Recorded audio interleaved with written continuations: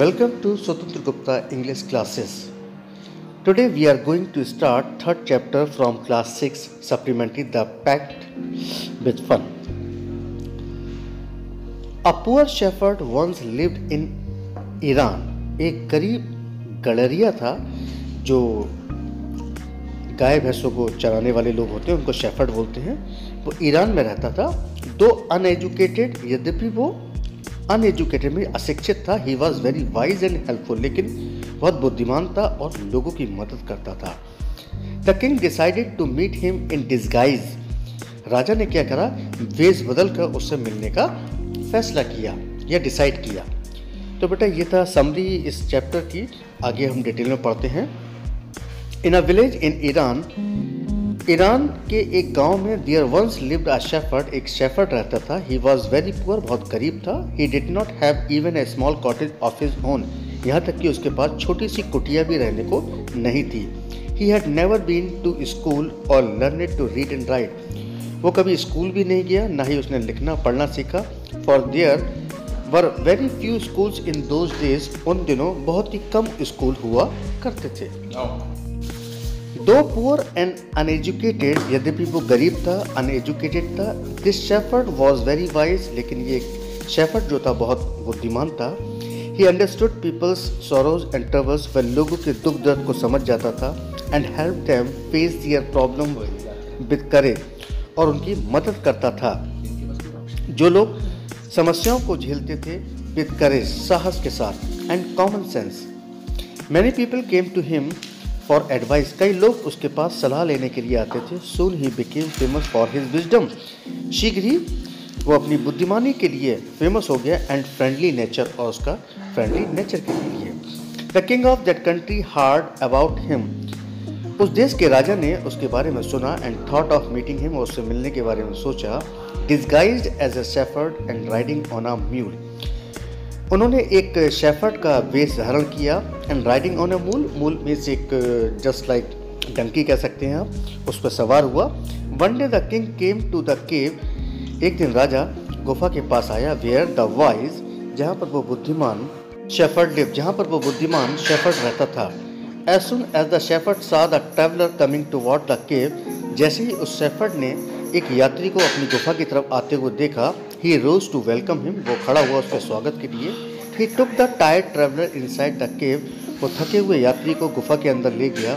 Gave him water to drink पीने के लिए पानी दिया and a share of his own मेज मील और उसके पास जैसा भी खाना पीना था उसको प्रोवाइड कराया।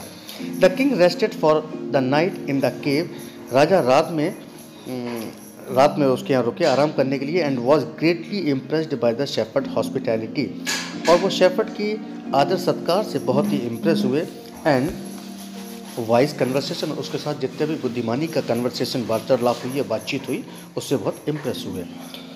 दो स्टिल टायर्ड अभी भी वो थके हुए थे। The king decided to depart the next morning अगली सुबह राजा ने वहाँ से जाने का निश्चय किया।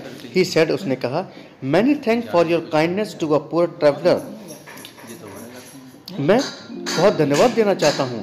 I have a long way to go मुझे बहुत लंबे रास्ते जाना है. परमिट मी टू लीव मुझे जाने की अनुमति दी जाए looking straight into the eyes of his guest अपनी मेहमान की आँखों में सीधी आँखें डालकर द शेफर्ड रिप्लाइड शेफर्ड ने आंसर दिया thank you your majesty for paying me the compliment of a visit आपने आने पर ऐसा कॉम्प्लीमेंट दिया.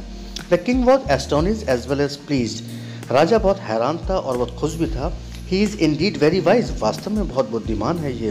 ही थॉट टू हिमसेल्फ उसने मनी मन सोचा I need people like him to work for me मैं चाहता हूँ कि ऐसे लोग मेरे लिए काम करें and the king appointed this humble shepherd the governor of a small district और राजा ने उस शेफर्ड को एक छोटे से डिस्ट्रिक्ट का गवर्नर बना दिया। Although he rose to power and dignity यद्यपि उसके पास डिग्निटी भी थी और पार भी थी the shepherd remained as humble as ever shepherd बेचारा वैसे ही रहा जैसे कि पहले था। People loved and honoured him for his wisdom लोग उससे प्यार करते थे, उसका सम्मान करते थे, उसकी बुद्धिमानी के लिए सिंपैथी उसकी सहानुभूति के लिए सम्मान करते थे एंड गुडनेस और उसकी अच्छाई के लिए। He was kind and just to one and all वो सभी के लिए, सभी के लिए न्याय करता था। His fame as a fair and wise governor soon spread throughout the country वो सभी के लिए फेयर काम करता था और बुद्धिमान गवर्नर था, उसकी ये पॉपुलरिटी पूरे कंट्री में थ्रू आउट फैल गई।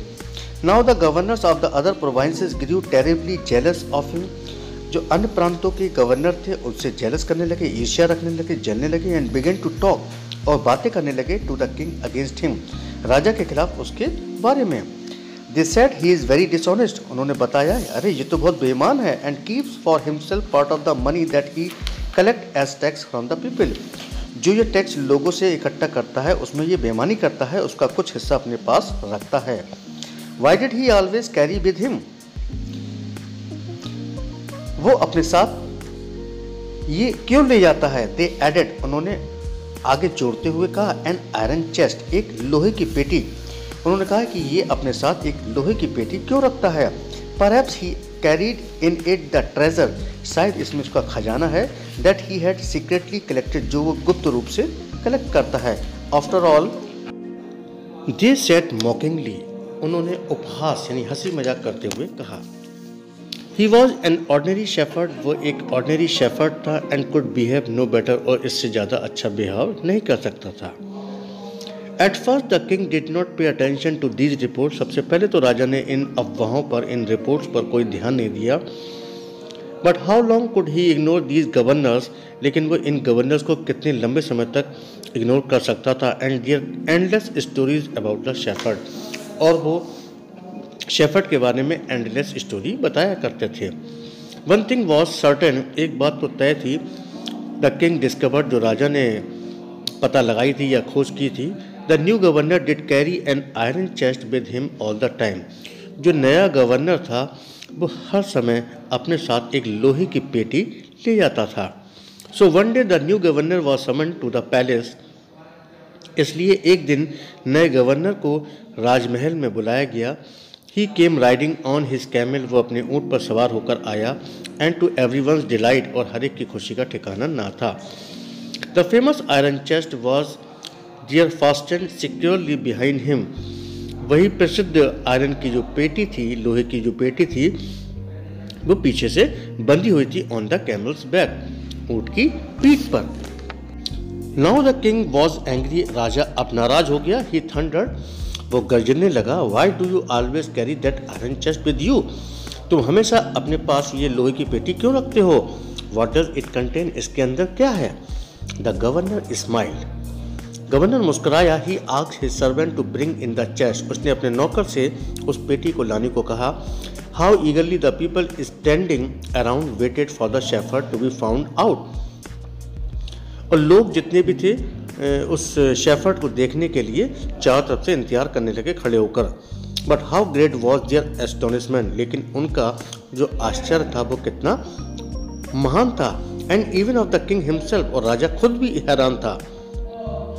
When the chest was open जब पेटी को खोला गया no gold or silver or jewels उसमें ना ही सोना था, ना ही चांदी, ना ही हीरे जवाहरात थे but an old blanket was all that came out उसमें एक ही पुराना सा पुराना सा कंबल निकला। होल्डिंग इट अप इसे उठाते हुए प्राउडली इसको घमंड से ऊपर उठाते हुए द शेफर्ड शेड उस शेफर्ड ने कहा दिस माई डियर मास्टर ये है मालिक इज़ माई ओनली ट्रेजर यही मेरा खजाना है? I always carry it with me इसे मैं हमेशा अपने पास ले जाता हूँ। But why do you carry such an ordinary blanket with you लेकिन राजा ने पूछा, तुम इतना ऑर्डनरी ब्लैंकेट क्यों ले जाते हो? Surely you are the governor of district तुम तो एक डिस्ट्रिक्ट के गवर्नर हो द किंग आग, राजा ने पूछा। To which the shepherd replied with quiet dignity इस बात पर शेफर्ड ने बहुत डिग्निटी से बड़ा रिप्लाई दिया। This blanket is my oldest friend ये ब्लैंकेट जो है मेरा ओल्ड फ्रेंड है. I will still protect it will still protect me if ये मुझे अभी भी प्रोटेक्ट करेगा इफ़ एट एनी टाइम किसी भी समय ये मुझे प्रोटेक्ट कर सकता है. Your majesty should wish to take away my new cloak महाराज, आपको ये इच्छा रखनी चाहिए कि मेरे लिए नए कपड़े दिलाए जाएँ। How pleased the king was राजा बहुत खुश हुआ and how embarrassed the jealous governors और जो दूसरे गवर्नर थे, वो बहुत शर्मिंदगी महसूस करने लगे। Became to hear the wise man reply उस बुद्धिमान व्यक्ति की बातें सुनकर उन्हें बड़ा एम्बेरस फील हुआ। नाउ दे न्यू अब वो जान चुके थे that the shepherd was indeed the humblest and the wisest man in the land कि जो शेफर्ड है, इस लैंड पर सबसे बुद्धिमान और परोपकारी है। The king made him the governor of much bigger district that very day और उस दिन राजा ने उसे एक बहुत बड़े डिस्ट्रिक्ट का गवर्नर बना दिया। So this is the end of the story बेटा। इसके क्वेश्चन आंसर आपको वीडियो के डिस्क्रिप्शन में मिल जाएँगे। वहाँ से आप कॉपी कर सकते हैं और अपनी नोटबुक में नोट कर सकते हैं। वीडियो कैसा लगा? इसके बारे में आप अपनी राय बताएँ। चैनल को सब्सक्राइब करते रहें ताकि आने वाली वीडियो की नोटिफिकेशन आपको टाइम पर मिलते रहें।